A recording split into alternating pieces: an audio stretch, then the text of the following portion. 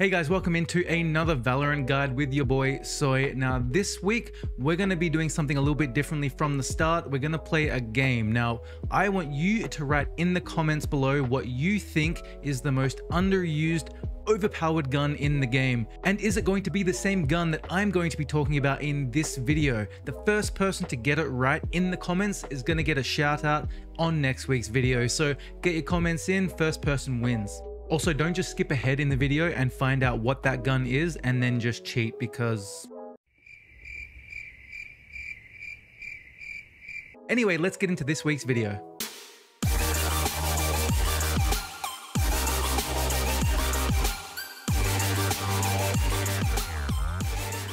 Alright, it's time to play... Who's that? Valorant! It's The, uh, Guardian. If you guessed the Guardian, then I've got good news for you. You are a 5 head Giga Chad with a brain that's just way too big for your head, and you are ahead of the game. I'm going to go into a few tips and reasons why the Guardian is the most overlooked and most overpowered gun in the game, and why you should be using it significantly more. Number one, it's a free aim trainer. The Guardian is a gun that you're going to see a lot of pros using and there's one simple reason why. It forces you to slow down and actually try and hit headshots because spamming with the Guardian doesn't really work that well. It's very similar to buying like a sheriff on a pistol round, except this sheriff has ADS, which is aim down sight, which makes it even easier to hit headshots. When you're using the ADS, you actually have better recoil and better bullet spread, and your crosshair actually follows the recoil, making it easier to make those micro adjustments to go back to that person's head. Basically, the Guardian is like an operator and a Vandal had a baby, and ain't nobody putting that baby up for adoption. You also get 12 bullets per magazine, which is more than enough to get a couple of kills and then hide away and reload. You also get a two and a half second reload speed, which is the exact same as a Phantom or a Vandal. So with all this information, how do you use the Guardian effectively? Well, a lot of people don't use the Guardian because they think it's just a poor man's Vandal, that's completely wrong. You shouldn't be looking at it like that. You should be looking at it like a nerfed operator. And if you start using it like that, you'll start understanding exactly what the devs were going for when they designed this game. I mean, gun. They did design the game too. The Guardian does the exact same damage to the head, body, and legs regardless of distance. A headshot does 195 damage. That's a kill. Insta kill, one shot headshot, regardless of who you're playing against, what kind of shield they have, what their health is. It doesn't matter where they are. That one bullet headshot is death. A body shot does 65 damage, which is two bullets to kill someone with light shields, or maybe three bullets to kill someone with full shields, or even one bullet to kill someone with just low health. Trust me when I say this is an Eco Demon's best friend. Also, leg shots do 49 damage, which is still pretty high, but you don't really want to be aiming for people's legs. So for the people who don't use the Guardian because they think it's a scuffed Vandal, well, you're wrong, and I'm going to go through a few reasons why right now. Number two, the cost. The Guardian only costs 2250 creds. That's 650 less than a Vandal and 2450 less than an Op. You're literally getting a one-shot headshot kill from anywhere on the map for less than half the price of an op. This is the eco gun that everybody should be using. I don't know why they're not. I do personally watch a lot of pro play in order to just learn and grow myself because you never really finish learning when it comes to games like this.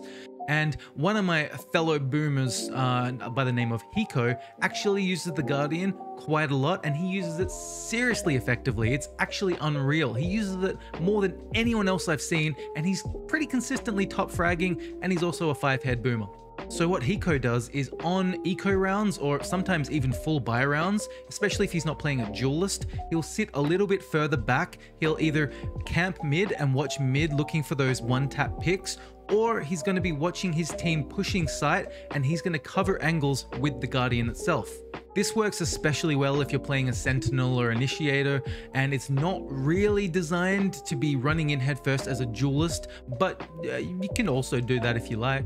For eco rounds, if you're going to be playing like this, you shouldn't be using a Spectre because it's basically useless over 30 meters. Uh, you could be using a Marshal, which I wholeheartedly agree is a really, really, really good, cheap eco round gun. However, the burst rate is really slow, which means that you're going to find it really difficult to cover your teammates pushing site. You might be able to cover mid of some sites though, or maybe a flank, but as soon as people know you have a Marshal, they can really easily push you and kill you. Whereas if you have a Guardian, you have a significantly faster burst rate, you're going to do a lot of damage, and you're going to be able to cover your teammates entering site from multiple angles with the ADS and without the ADS. So what I recommend is on half buy rounds or eco rounds that you're buying for the next round itself, you should be buying a Guardian because not only are you going to be saving money, you're also going to be training your aim at the same time for free. Well, maybe not free, like 2250 creds, but basically free. A quick side note, the Guardian used to cost 2700 creds. That's 200 less than a Phantom or a Vandal. And then it went down to 2500. And now it's at 2250 because the devs are trying to balance it so that it's actually used in the game properly. And for some reason, people are still shunning it. It is the cheapest one tap headshot gun you will get in this game, except for maybe the Sheriff, but that doesn't have ADS that doesn't have a magazine, doesn't really have as good a burst rate. It's just not as good, maybe only for pistol rounds. Number three, agent selection. This is my last tip and pretty much only applies to Jett, maybe Reyna and Chamber. If you're playing one of these typical opping agents or an agent that just uses an op effectively due to the util that they have, this is basically a free op, or at least a cheap one. You buy the Guardian, you go for the exact same shots that you would go for if you had an op, and then you can just dash away, or TP away, or just disappear into the night. It's the same thing with Chamber. You can go from using his sidearm, which is built in and has ADS, into a Guardian, which has ADS, into his ultimate, which is an op. You're basically using ADS the entire game. That is amazing. And you have his teleport. Other than that, he's a pretty average agent, I won't lie.